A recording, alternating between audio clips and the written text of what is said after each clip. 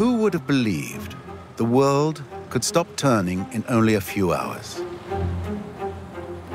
That silence would drown out the noise of work sites, of lawyers in their courtrooms, of fans on the terraces, and even music in the concert halls. Le début du confinement, le début du virus, il y avait ce, cette euh, pression qui était là, cette peur, cette angoisse, euh, entre guillemets, d'ennemis invisibles. This disease can, could kill you. If you're old, if you have underlying conditions, it's devastating. La priorité, hein, c'est la, la, santé de nos collaborateurs. Il n'y a pas d'équivoque là-dessus. How did the women and men of Bouygues cope with this worldwide epidemic? Comment maintenant on va reprendre l'activité Et on s'est dit, bah, ce qu'il nous faut, c'est avant tout des équipements de protection individuelle. Donc il nous faut des masques et du gel. On a le sentiment de la vulnérabilité, donc ça veut dire qu'il faut ne jamais oublier de préparer l'avenir.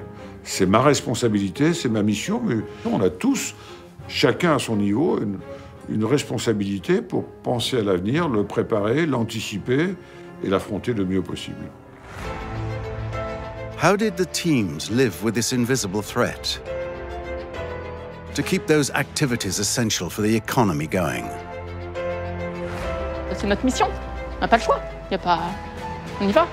Tu es avec ton masque, tu es dans cette épidémie, et donc, euh, que va-t-il se passer? How did people reinvent their daily work routines? Le confinement, c'est un accélérateur de nouvelles façons de travailler. On, passe de, l'état où on est vraiment passif dans une situation de crise à un état où on devient actif. Et ça, ça modifie complètement la donne.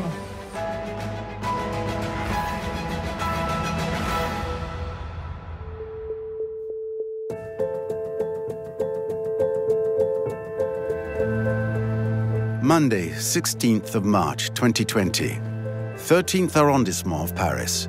An historic day for Sandra Aho that she would never forget. Age 31, she was then supervising her second renovation worksite for Bouygues Construction. But everything would stop a few hours later.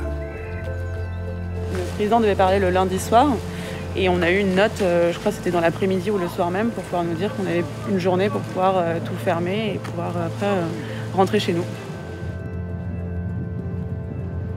Là, vous voyez, hein, donc ça c'est un, BIMA, c'est l'équipement qui nous permet de pouvoir travailler en façade. C'est de la location qui est imputée sur le chantier. Euh, J'ai cinq euh, grues entre guillemets qui sont là, qu'on doit payer et qui dorment, qui ne sont pas utilisées. C'est du jamais vu. Non, j'ai jamais vécu ça, de fermer et de me dire bon, bah, je sais pas quand est-ce qu'on reviendra. Euh, on verra bien, ne pas pouvoir donner de réponse à tous ceux qui appellent pour dire quand est-ce qu'on reprend, quand est-ce qu'on reprend. Euh, ben, je sais pas. Moi, j'ai pas vécu, vécu pardon, situation de guerre, mais vous n'avez pas le sentiment qu'un jour tout s'arrête. C'est un truc qui vous paraît pas réel en fait.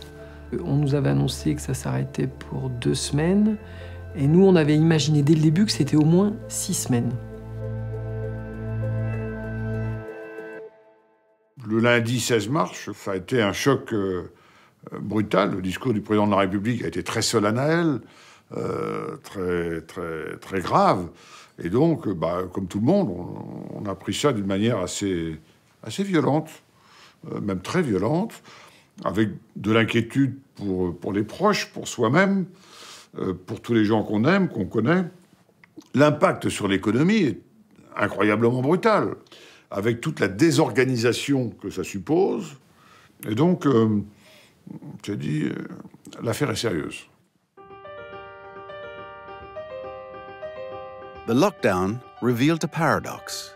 While some were forced to stay at home, others would be working in essential roles with no room for error.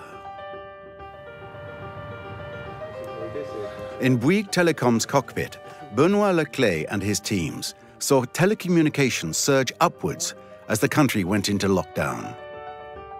Without these networks, families and businesses would be cut off from the outside world. Pile à 16h04, on a perdu un PSS. Et c'est quoi C'est DCQ, c'est que de la DCQ ou c'est une perte franche On a perdu la boucle du Havre Attends, si tu veux, je vais voir. En fait, ce qui se passe là, on a un équipement central de notre réseau qui répond plus. On n'arrive plus à se connecter dessus et qui, qui, prend plus la charge de trafic. attention, là, il y a 10 000 personnes qui sont, euh, qui n'ont plus de fixe, qui n'ont plus de télévision, qui, ne peuvent plus travailler dans, ces, dans, ces, périodes. Potentiellement des entreprises, potentiellement des hôpitaux, des cliniques. Donc oui, cette période-là, elle rajoute une petite pression en plus où on se dit, bah, faut se dépêcher. When a network is down, Mathieu Foucault springs into action. This technician grappled with the invisible virus for 55 days of lockdown. On a une perte euh, d'un équipement, donc il faut essayer de, de réparer au plus vite.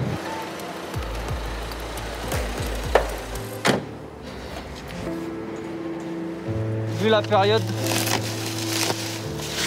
on préfère prévoir la pièce, venir une seule fois. On prend une seule fois les ascenseurs.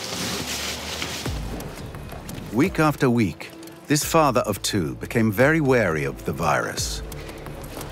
On doorknobs, lifts, anywhere, in fact.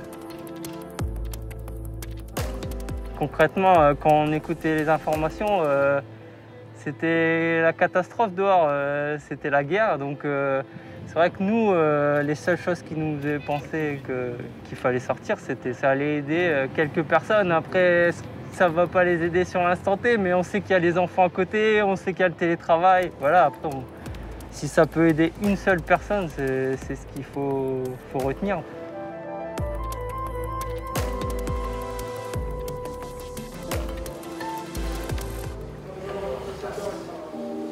On ne savait pas trop au début, parce que c'était extrêmement grave, pas grave et tout, etc. Il y avait ce genre de questions qui, qui émanaient euh, de, tous les collaborateurs. Est-ce que c'est -ce c'est vraiment utile d'être euh, ici?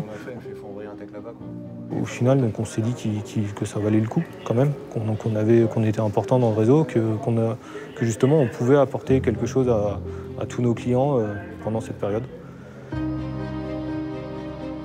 Doing your job regardless despite the fear of falling ill or spreading the virus. Il était 17h14 cet après-midi lorsque l'Organisation mondiale de la santé a évoqué pour la toute première fois une crise sanitaire mondiale majeure de notre époque. The news editorial team at TF1 is used to keeping the public informed about major historical events, but this was the first time it would be so close to one. Cette journée un peu spéciale et un peu particulière évidemment, avec une prise de parole euh, du Premier ministre et des ministres qui l'accompagneront. Vous avez vu à 17h, donc voilà. D'ailleurs, on assure l'antenne ce soir. Attention, c'est important d'agir comme ça parce qu'on aura un temps évidemment court entre la fin des annonces et le début du journal. Quand on envoie des équipes, quand on couvre par exemple une crise, une guerre, un conflit, on se projette et puis quand on revient chez soi, c'est terminé. Là, on traitait comme journaliste, observateur, professionnel, et quand on rentrait chez nous, on était rattrapé par la vie des Français tous les jours. Donc on avait les mêmes inquiétudes pour nos enfants, pour nos proches. Et puis, pendant quelques heures au siège de TF1, on refaisait notre métier de journaliste avec cette nécessaire distanciation, parce que sociale, mais éditoriale, par rapport à une situation. Donc cette espèce de, de schizophrénique, presque, euh, que nous avons dû gérer, elle est pour moi totalement nouvelle. Nous serons en direct à Paris avec François-Xavier Ménage. Les règles, elles sont multiples. D'abord, on a toujours mis une petite Charlotte sur le micro, qu'on change plusieurs fois par jour pour euh, les éventuels postillons. Cette perche, elle nous permet d'avoir une distance d'au moins un mètre avec notre interlocuteur. J'ai parfois eu peur de euh, potentiellement pouvoir contaminer sans le savoir des interlocuteurs, notamment des personnes âgées au tout début, parce qu'on rentrait dans l'intimité de ces personnes. On prenait mille précautions, on restait très peu de temps, on touchait rien, même la tasse de café qui nous était offerte. J'ai pris des photos sur mon appareil pour les, faire un album dans un an ou deux. Des photos des salles de montage, des photos du, plateau du journal, non pas sur moi, mais tout ce qu'on ne voit pas. Et je me suis dit, mais c'est fou là, parce que t'es pas en train de parler d'un événement euh, lointain qui n'arrive qu'aux autres, quoi eux c'est toi, toi c'est eux. C'est-à-dire que je me suis dit, ben, t'es avec ton masque, t'es dans cette épidémie. Euh, mon copain qui est l'opérateur image, qui est masqué. Ma, fidèle prompteuse depuis 10 ans, qui est masquée, mon assistant. en régie. Malgré tout, ce qu'on fait, est bien et ce qu'on fait est utile. Moi, j'ai pas besoin d'en être convaincu.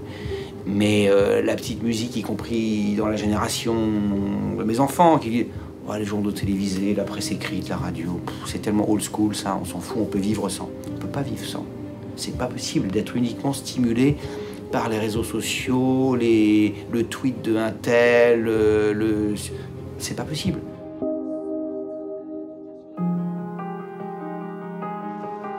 This epidemic saw those that usually work in the background step up to the front line.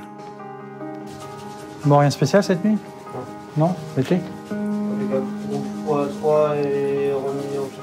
Ouais. Bon, bah c'est bien. At Caen Normandy Teaching Hospital, Xavier Charrier's maintenance teams had to be especially vigilant throughout this crisis.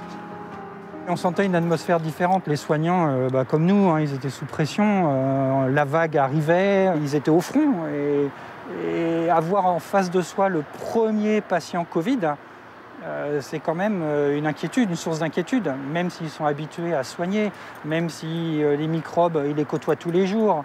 Le rôle principal de l'équipe, ça a été de permettre aux soignants de se consacrer aux soins. C'est-à-dire principalement de faire en sorte que tout ce qui était l'aspect matériel, tous les aspects matériels, ils en soient déchargés. Donc vérifier que les appels malades fonctionnent, vérifier que les portes fonctionnent, sécuriser les locaux pour ne pas qu'ils se fassent voler leur gel, leur masque. Certain details can make a big difference. For example, the ventilation system was adapted so that the virus could not leak out and harm staff within the hospital. Et en fait, le fait de souffler dans la pièce, plus d'air que l'on en aspire, fait que le courant d'air va naturellement vers l'extérieur. Et on n'était pas sûr de pouvoir y arriver. Donc on a dit au docteur, euh, bah, on fait un test, parce qu'on a senti que ça vous rassurerait, ça rassurerait votre personnel. Et puis du coup, on a fait un test. Le test a été concluant. Donc on est passé à l'é- à l'échelle de, bah, de la moitié du service. quoi, en fait. Effectivement, nous, on ne peut pas faire correctement notre travail si on n'a pas tous ces gens autour de nous. Enfin, tout, tout- tout le personnel qui travaille dans un hôpital est un maillon essentiel du soin, de la chaîne de soins. Je suis évidemment très fier de voir que les collaborateurs, grâce à leur qualité personnelle, l'importance de la conscience qu'ils ont de leur mission, ont réagi positivement. Et ben tous ces gens-là ont fait un boulot formidable. Ça fera partie de la mémoire de l'entreprise de se souvenir que dans les cas difficiles, eh ben, il y a un bon nombre de collaborateurs qui acceptent de aller au feu, si je puis dire.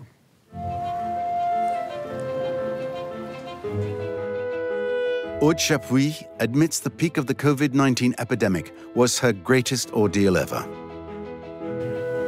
In Versailles, as director of Jardin d'Arcadie, a joint venture between Bouygues Immobilier and Acapace, she had to keep the spirits of the 91 residents of this retirement home up and fight against the defeatism of some. les résidents nous disaient Moi, j'ai 95 ans, je c'est pas maintenant qu'on va m'enlever ma liberté. De toute façon, si il est arrivé le moment pour moi de quitter, euh, de quitter cette terre, d'accord, je, l'accepte. Donc voilà, pendant 15 jours, il a fallu beaucoup discuter. Ils ont compris qu'on avait peur. Monsieur Le Cerf, comment ça va Madame la Présidente. Tout va bien Tout va bien. Est-ce que vous nous permettez d'entrer un peu dans... Rentrer à la maison et d'avoir la famille qui, qui a peur et qui l'exprime et qui, et qui vous dit le matin, maman, tu fais, ou chérie, tu fais, tu fais bien attention à toi, hein, mais c'est notre, c'est notre mission. On n'a pas le choix. Il y a pas, on y va, on y va. Il va falloir que vous l'acceptiez.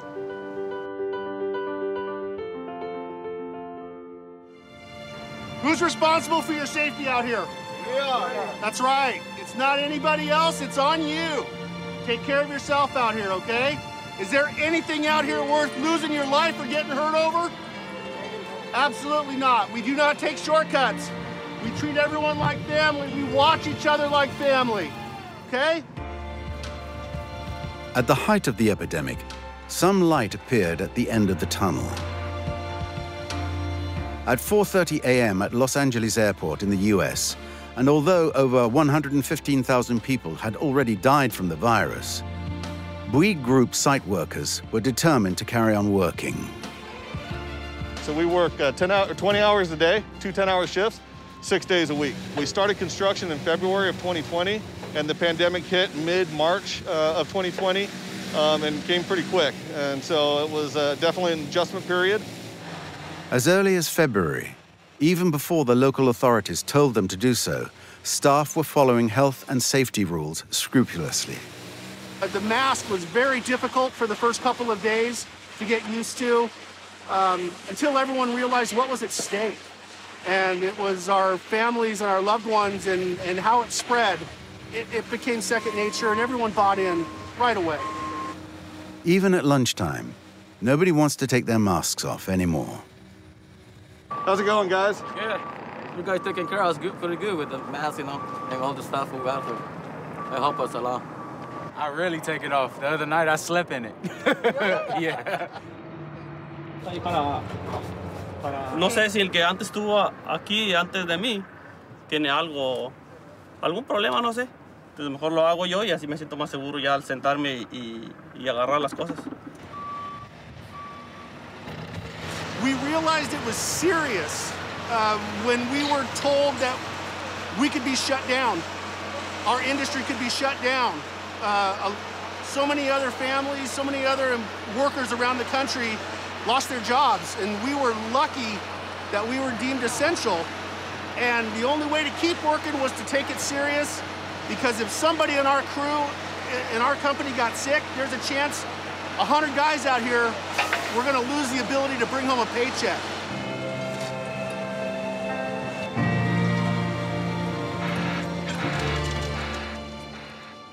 Je vais vous dire, quand on est agressé, que ce soit par des ennemis militaires ou par des virus, on doit se battre. Et c'est ça la vraie fonction. L'homme, il est fait pour se battre, pour réagir, pour se défendre et pour mettre en place des moyens pour survivre et vaincre. Eh bien, c'est ça notre travail.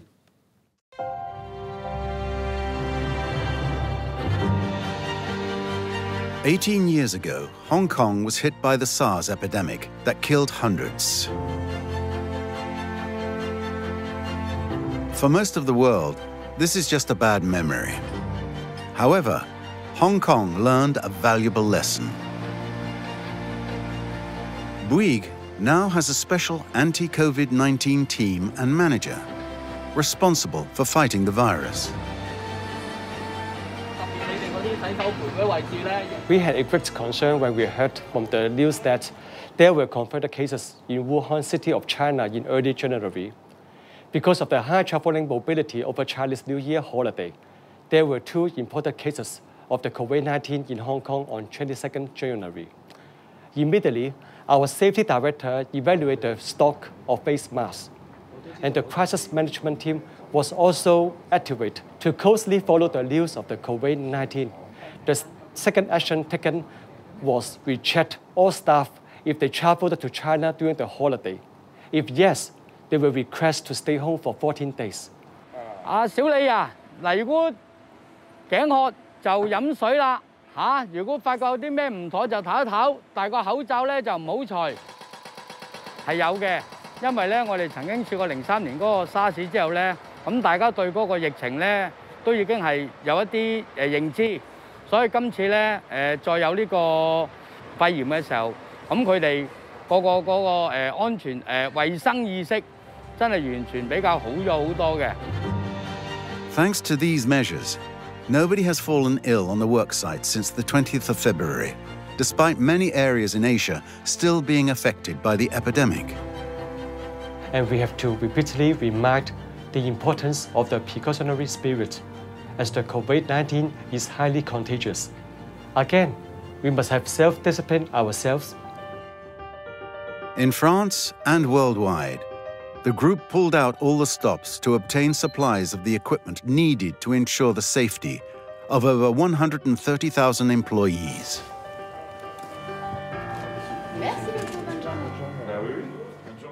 Avec l'expérience de Hong Kong, nous avions compris qu'à Hong Kong, ce qui avait permis le redémarrage, c'était de redonner confiance aux collaborateurs en, euh, en assurant une certaine, euh, un maximum de protection. Comme Bouygues Construction euh, a une implantation très ancienne en Asie, on s'est dit, ben, il faut qu'avec les acheteurs qu'on a là-bas, on aille voir si on peut se trouver des masques. On a la chance au sein de Bouygues d'avoir un- une centrale d'achat qui est positionnée à Shanghai depuis pratiquement 10 ans. Le calcul que l'on faisait à cette époque, c'est qu'il nous fallait un nombre de masques extrêmement important chaque semaine, puisqu'on consommait pratiquement 2, millions de, 2 à 3 millions de masques par semaine. On en a offert un million au gouvernement français, on en a offert un million au gouvernement ivoirien, parce que la Côte d'Ivoire est un vieux euh, partenaire de Bouygues de- historique depuis toujours. Euh, et puis on a approvisionné pour nous pour préparer la reprise. À ce jour, le groupe Bouygues a acheminé combien de masques 45 millions. Mais Bouygues Construction comme Colas, comme tous les métiers du groupe, on est dans des écosystèmes complexes. Dire on s'arrête, c'est pas euh, 25 collaborateurs de Bouygues qui s'arrêtent, c'est 25 collaborateurs de Bouygues qui s'arrêtent, plus les sous-traitants, les fournisseurs, enfin un système compliqué. Et arrêter, c'est assez simple. À redémarrer, c'est beaucoup plus compliqué. Il faut que toute la chaîne, tout l'écosystème se remette en route, réapprovisionne, euh, redémarre, euh, etc. Et donc, on avait aussi beaucoup de fournisseurs et de sous-traitants qui n'avaient pas les moyens de protection. Et donc, on les a aidés, on leur a fourni éventuellement, pour un grand nombre d'entre eux, pour faciliter le redémarrage. Et on était, je crois, un des premiers grands groupes à redémarrer. Et, et- et je crois que c'est tout le mérite en revient à Olivier Roussat et aux patrons de métier qui se sont donné beaucoup de mal pour préparer tout ça. And on the ground, site workers introduced many different initiatives.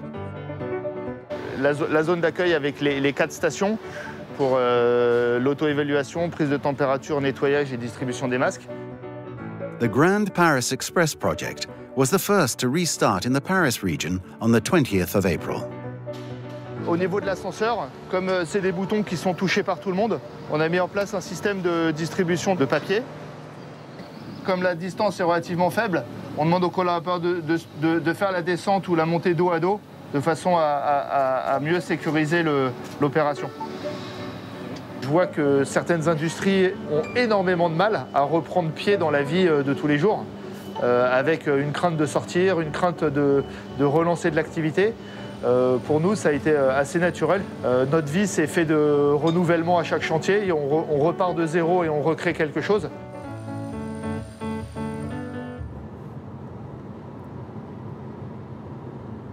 Teams everywhere learned to coexist in this new environment, such as on this Bouygues construction and Colas worksite to widen the A10 motorway. On a remis en route cet échelon le 22 avril dernier. C'est vraiment le premier échelon qu'on a remis en route. Ça nous permettait un petit peu de nous tester, tester, nos- tester notre, euh, notre, capacité à, respecter toutes les consignes qu'on avait prévu de mettre en place. Là, on a limité à 16 personnes, alors qu'on est quasiment plus du double euh, en conditions normales. Le réfectoire et les douches, c'est vraiment l'endroit où on a pu notre protection euh, de type masque. Il faut qu'on soit extrêmement rigoureux euh, sur la gestion de ces, ces espaces-là, parce que c'est là qu'on peut avoir le plus de problèmes. On a neutralisé une partie pour toujours avoir un minimum un mètre d'écart entre ceux qui mangent. Donc vous voyez euh, la capacité du coup euh, réduite euh, que ça génère. Et, le fait de manger comme ça à 1m50, 2 mètres, c'est- je pense que ça change quand même quelque chose. Je suis pas sûr que les gens s'habituent euh, s'habituent facilement à ce genre de, choses. Comme les machines à café, les, tout ça, c'était un, un lieu convivial où on discutait des problèmes éventuellement. Il n'y a plus. Pour l'instant, il n'y a plus. For Bouygues, one of the highlights of the lockdown took place at Noyon, whose region was one of the most affected in France. In this plant belonging to Aximum, Colas's road safety and signaling subsidiary, at the peak of the epidemic, Managing Director Benoit Castex, with his colleagues, decided to spark a little revolution in this paint producing factory.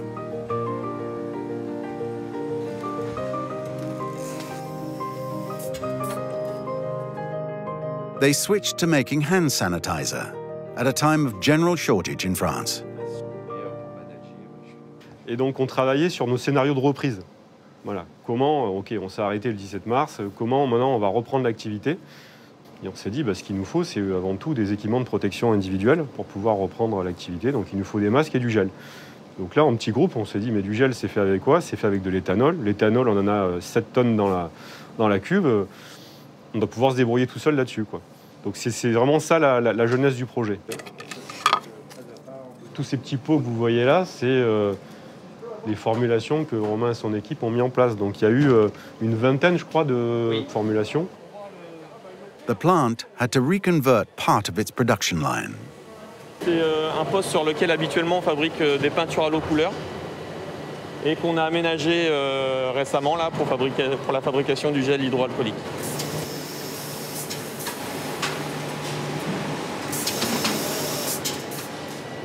Vous avez Oder qui, qui est là à la tête de conditionnement, qui est un renfort qui vient d'une filiale qui s'appelle qui GES. Ouais, le débit il est beaucoup moins. Le mot sécurité, il me parle. Étant chef de chantier, étant garant de la sécurité de mes collègues et de la mienne sur mes chantiers, ça m'a paru euh, important de, venir contribuer euh, à l'effort euh, national. Il y a une, une fierté en, en, nous qui dit bah, on est là, c'est nous qui l'avons fait, on aide des gens. Toutes les premières dotations sont parties sur Colas. Et là, maintenant, on a commencé à ouvrir le, le business et puis à fournir nos clients traditionnels qui sont des sociétés privées et publiques euh, d'application de peinture. Since then, the news spread and some charities asked the plant to provide free batches of hand sanitizer. Alors, il est destiné aux, aux, femmes qui sont victimes de violences conjugales et intrafamiliales, dans un premier temps, et euh, pour tous les euh, bénéficiaires de l'association Emmaüs et, euh, et Orange. Allez, vous ouvrez le coffre et on y va. C'est pas la seule donation que vous avez fait ces dernières semaines On en a également fait une à la Croix-Rouge des Yvelines. Combien de litres? Euh, 200, 200 litres, ouais.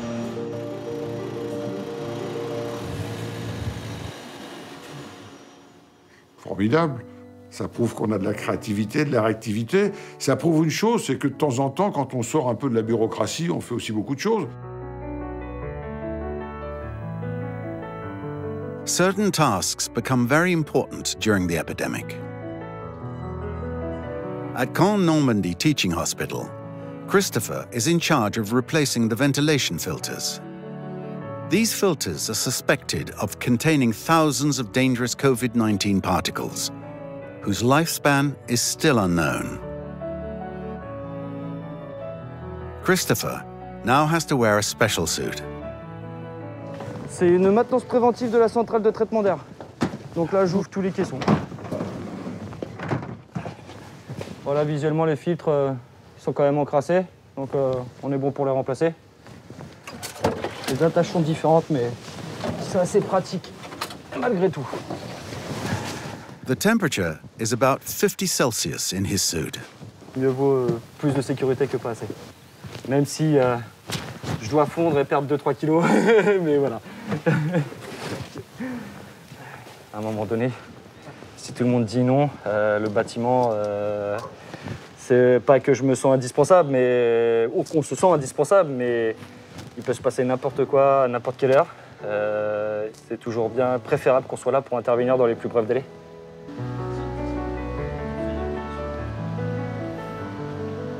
Est-ce que vous pouvez me rejoindre dans le TGBT 1.1, s'il vous plaît? Derrière la technique, on a toujours de l'humain, en fait. Et, on sait que nos actions peuvent très vite avoir des conséquences euh, graves ou importantes. Dans une usine, on va perdre euh, la production de lait. Euh, nous, s'il y a un loupé, on va perdre la, une vie humaine. Le risque, il est là. Enfin, c'est pas les mêmes enjeux, mais ça fait partie de notre métier.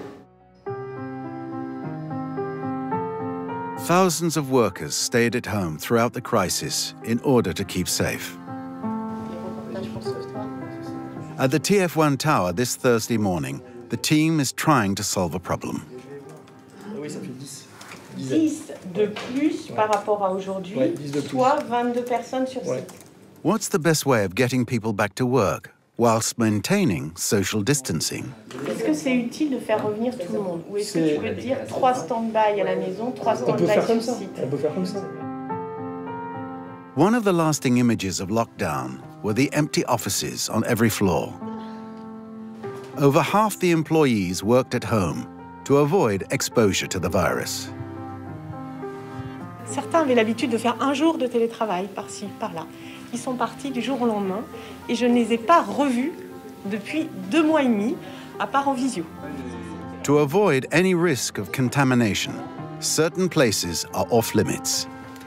Alors là, je m'arrête là parce que à partir de cette porte-là, on rentre dans ce qu'on appelle les zones de fabrication. C'est les salles de montage, c'est les salles où le présentateur finit d'écrire son journal, et puis c'est l'entrée dans la régie. Et pourquoi je m'arrête là?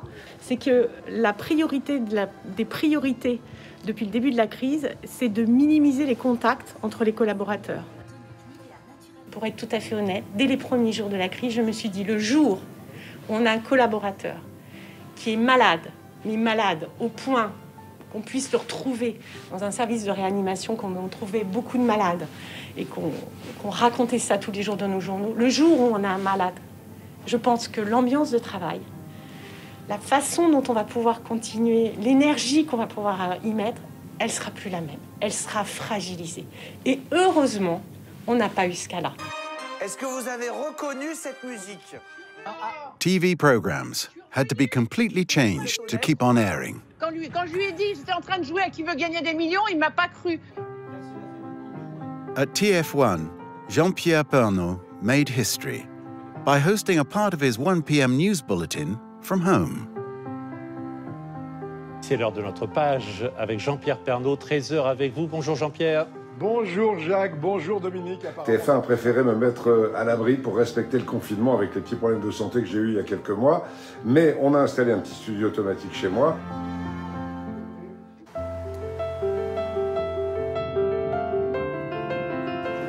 Comment ça va à peu près. At Versailles, the staff at the Jardin d'Arcadie retirement home also held up well.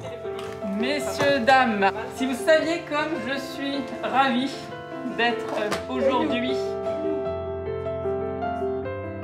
After 80 days of lockdown, some residents can once again enjoy their activities together. Alors en tout cas, on va commencer avec le premier indice. At the start of the crisis, most residents were unhappy with the lockdown measures. Today, the smiles and joy are coming back little by little.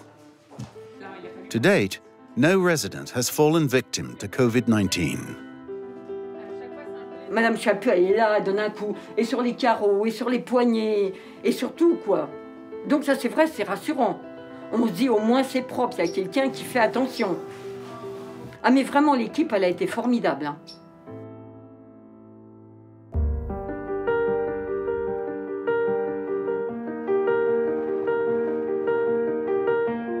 Are there lessons to be drawn from this unprecedented crisis?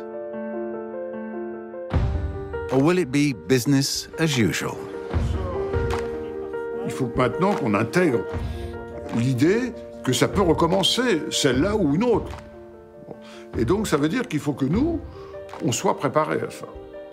Et pour se préparer à ça, il faut y avoir réfléchi, se dire que la manière dont on a agi la première fois, il y avait des choses formidables, des choses moins bien, qu'est-ce qu'il faut faire pour améliorer les choses We left Sandra Ao just after her worksite had been closed by the lockdown the previous month. As workers arrive on this Monday morning, they're determined to make up for lost time. Il y a d'autres chantiers qui n'avaient- qui n'ont pas encore ouvert, enfin, toujours pas. Donc du coup, ils avaient aussi des équipes à enfin, à recaser, donc, euh, donc une aubaine pour nous, parce qu'on a pu doubler quelques effectifs. Mais globalement, tout le monde est content de reprendre. Oui, ok, cool.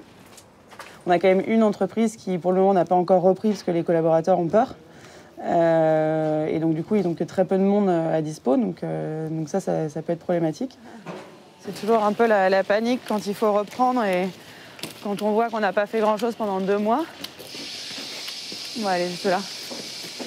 C'est plutôt pas mal euh, de réentendre un peu tout le monde s'activer autour. The mindset of workers has clearly changed. There is now a still present, invisible threat forcing them to be even more vigilant than before. Là, ce qu'il faut surtout éviter, c'est de devoir s'arrêter à nouveau. Comment est-ce que nous, on va pouvoir euh, travailler avec le virus sans, euh, sans avoir peur d'aller travailler et sans être euh, complètement vulnérable? La particularité de notre, de notre métier, c'est de travailler en site occupé, donc faire des interventions et des travaux chez les gens pendant qu'ils y vivent. Et donc là, maintenant, avec toutes les mesures aussi à respecter, c'est de savoir comment on va intervenir chez eux, comment on va pouvoir rentrer chez eux en étant aussi bien nous en sécurité que eux. Vous en verrez pas un seul qui n'est pas son masque ou, c'est vraiment rentré euh, assez rapidement. Dès qu'il y en a un qui, essaie de, qui est un peu plus volubile, qui est un peu moins dans le coup, on le remet, on, lui fait la remarque directe. Je vous dis, moi, en 35 ans, j'ai jamais été arrêté aussi longtemps. On était tous contents de se retrouver. Parmi les valeurs des compagnons du Minorange, ils ont des, capacités de formation, de s'intéresser aux autres, etc. Et aussi une responsabilité importante dans le domaine de la sécurité. Ils doivent être exemplaires en matière de sécurité et aussi le faire savoir et valoir auprès des autres. This unprecedented crisis has prompted certain teams to completely change their work methods, creative processes, and organization. Such as at the Aximum paint plant in Noyon. It usually takes several months to develop a new product. This time, it took only two weeks to create a hand sanitizer in the midst of an epidemic. On s'est aperçu qu'on pouvait développer un produit très rapidement et on pouvait mobiliser toutes nos énergies pour arriver à faire quelque chose qui tient la route. On, passe de, l'état où on est vraiment passif dans une situation de crise à un état où on devient actif. Et ça, ça modifie complètement la donne. Je pense qu'on a libéré beaucoup de freins, en fait. le, le maître mot de ce que l'on voit au travers de ce que l'on a fait pendant cette période, c'est d'être en permanence capable de s'adapter rapidement. Tous les métiers ont travaillé ensemble. Les masques de TF1, ils ont été fournis soit par Bouygues Construction, soit par Bouygues Télécom. Travailler ensemble, on a même eu un des fournisseurs de, de Bouygues Télécom qui a sourcé des masques particuliers pour les équipes de TF1 dans un délai assez court. Donc globalement, c'est savoir s'adapter. Being able to adapt was key to maintaining close relations with customers throughout the crisis. Moi, j'ai un problème. On avait la date de, de, de livraison prévisionnelle, c'est fin mai. Ils devraient quitter les logements euh, à partir du 1er juillet. D'accord. Bouygues Immobilier call center had to deal with completely new situations during the epidemic. Je me rappelle d'une cliente qui, qui ce propriétaire l'a mis dehors, quoi. Et donc il fallait bien que on, on puisse faire quelque chose pour elle. On ne pouvait pas la laisser comme ça, donc euh, on a fait des exceptions.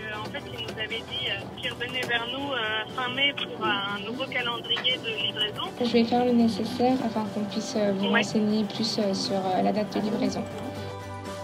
Some buyers should have received the keys to their new apartments back on the 17th of March. But suddenly, everything came to a halt. C'est pour ça qu'à partir du 15 mars, nous, notre obsession, c'était de communiquer avec le client, de garder le lien et de lui expliquer autant qu'on pouvait lui expliquer, parce qu'on avait, comme toutes les entreprises, on n'avait absolument aucune possibilité de lui dire on fera ça en mai, en juin, en mars, en avril, on ne savait pas. On va être accompagné d'un peintre. Donc si vous voyez la moindre des choses, il faut le dire aujourd'hui. D'accord? Donc on va faire. Je vous laisse faire un petit tour et après on fait pièce par pièce. Ça marche? Bonjour Sébastien, bonjour Didier. Euh, on est maintenant sur le troisième jour de reprise. Work methods had to be reinvented everywhere. Madame, bonjour, bienvenue chez Bouygues Télécom. Je vous laisse entrer, madame. Je vous laisse vous installer juste ici. Alors, vous verrez, en fait, on a tout un marquage au sol qui vous permet de voir à peu près les distances. Je vais vous demander, si vous voulez bien, me présenter vos mains. Je vais vous remettre un peu de gel. Vous avez donc une, deux et trois clés de logement. La troisième, comme ils sont encore dedans, ils ont dû la conserver. On va la, la récupérer après. Voilà. Donc là, vous avez tous les papiers, toutes les clés. Everyone adopted new practices to get the economy going again. Est-ce qu'il y a des personnes qui ont des galets à remettre ou du matériel éventuellement à déposer? Venez, je vous laisse le déposer juste ici. Il n'y a pas d'autre formalité. Voilà. C'est vraiment une adaptation. Pour nous, c'est compliqué parce qu'on on a besoin d'être en proximité avec les clients. C'est le fait même de notre métier de pouvoir dialoguer. Et là, il faut s'habituer à être un peu inexpressif parce que bah, déjà, on ne voit même pas sourire ou difficilement. Et puis, bah, on se rend compte qu'il faut un peu amplifier finalement les gestes pour que les gens, voilà, on, est dans quelque chose d'un peu nouveau. C'est un temps d'adaptation, réellement. Je pense qu'il va falloir encore quelques jours pour s'y faire. Et puis ensuite, bah, voilà, ce sera, ce sera une habitude. One phenomenon became exceptionally widespread at the group's companies during the pandemic teleworking. Donc aujourd'hui, pour ceux qui sont en activité, 80% des collaborateurs sont en travail à domicile et 20% sont sur site, avec les mêmes applicatifs dans la même configuration pour répondre aux demandes de nos clients. C'est OK pour tout le monde? At Bouygues Telecom Customer Relations Center in Tours, teleworking has transformed workplace organization between managers and their teams. J'ai euh, mis le brief sur 30 minutes parce que j'ai pas mal d'infos à vous donner au-delà de la diff de la semaine prochaine. Is it possible to go back to how it was before, as if nothing had happened? Pour mon équipe, c'est 100% de télétravail jusqu'à fin mai, sauf mes trois collaborateurs qui ne peuvent pas techniquement faire de télétravail et donc qui sont sur site depuis le début. On a euh, vraiment euh, la confirmation qu'on a des collaborateurs euh, de confiance, rigoureux, et qui ont réussi, oui, à passer le cap et à s'adapter à leur nouveau mode de, de travail pour assumer effectivement et la prise en charge et la qualité et, surtout voilà, pouvoir continuer à répondre à nos clients. Attendez tout dernier. Tout va bien par chez vous? Si on m'avait dit un jour 60 à 70% des infographistes travaillent de chez eux quasiment dans les mêmes conditions que s'ils étaient ici, je vous aurais dit non, c'est pas possible. Or, la direction technique de TF1 a réussi la prouesse d'installer des, des moyens techniques qui permettent avec un petit délai euh, malgré tout supplémentaire dans la fabrication, mais qui permettent de, faire ce qu'on fait dans les journaux. Beaucoup de nos collaborateurs ont appris finalement à pouvoir alterner euh, des périodes chez eux et des périodes au boulot. Et c'est très bien ainsi, parce que ça donne à la fois, j'irais, certaines, un espace agréable, et puis aussi, je pense qu'il y a une forme de reconquête très intéressante, très stimulante pour nous les managers, d'autonomie. Le contrôle, c'est bien, et sans doute il en faut, mais la confiance, c'est encore mieux. Le confinement, c'est un accélérateur des nouvelles façons de travailler. Avant le Covid, 23% des entreprises pratiquaient le télétravail. Post-Covid, 66% des entreprises disent vouloir généraliser le télétravail.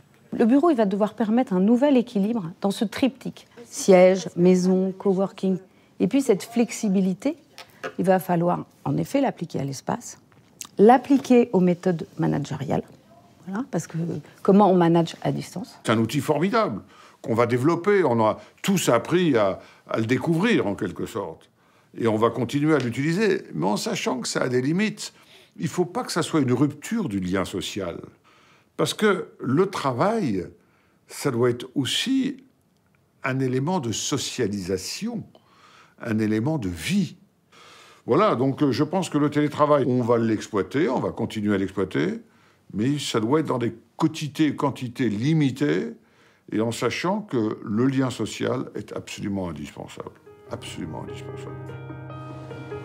At Wojo, a Bouygues Immobilier Accor co-working joint venture, there are already signs of future trends. Et on a vu la puissance de, de, de, du fait de travailler ailleurs. Et dans le même temps, on a vu la limite de travailler à la maison. Dozens of companies looking for work environments more suited to the crises of tomorrow have contacted the platform about more modular and flexible offices, closer to where people live. On peut avoir nos espaces pour un mois, deux mois, six mois, un an. Euh, et puis jouer aussi sur le nombre de personnes. Ce n'est pas ce que nous réserve demain. On peut augmenter euh, l'effectif, on peut le réduire. Nous aurons l'opportunité avec cette crise de pouvoir rebâtir des choses différentes dans lesquelles on sera très attentif à l'empreinte carbone. L'obstacle principal pour les solutions à faible empreinte CO2 pour l'instant, c'est pas le fait que nous ne sachions pas les faire, c'est que nos clients ne souhaitent pas les acheter. Et finalement, cette crise devrait nous permettre, par les plans de relance qui vont être faits, de passer un cap et d'aller vers une empreinte carbone beaucoup plus basse. Et on va, on va vraiment franchir, à mon avis, un gap important sur ces sujets-là.